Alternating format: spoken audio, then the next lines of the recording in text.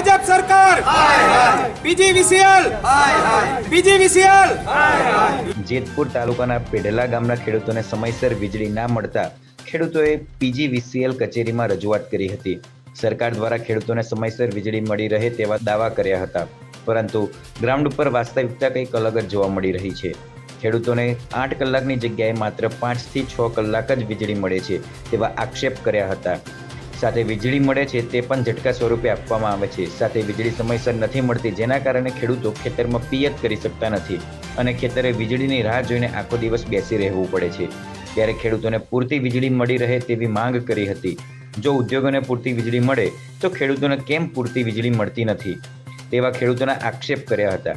જો આગામી દિવસોમાં સમયસર વીજળી નહીં મળે તો અડતાલીસ ગામના ખેડૂતો ધરણા સહિતના કાર્યક્રમોની ચીમકી ઉચ્ચારી હતી.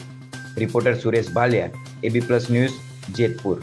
મારું નામ કમલેશભાઈ પરસોત્તમભાઈ ખૂટ પેટલા ગામ અમે વીજળી માટે આવ્યા છીએ. અમારે આઠ કલાક લાઇટ આવતી, અત્યારે છ કલાક, પાંચ કલાક લાઇટ આવે છે. લાઇટ પૂરી મળતી નથી અમને.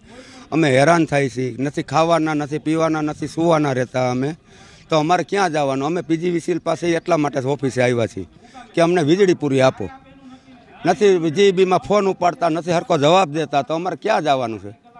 અમારે કોણ ખેડૂતનું સાંભળશે? અમારે ખાવા પીવાના તો હોવા જોઈએ ને ટાઈમે. બધા જ ઓફિસરો છે, ટાણે ખાય છે, પીએ છે, સુવે છે, એનો ટાઈમ છે. અમારો કંઈ ટાઈમ ટેબલ જ નથી હોતો. અમારો એ પ્રશ્ન છે સાહેબ.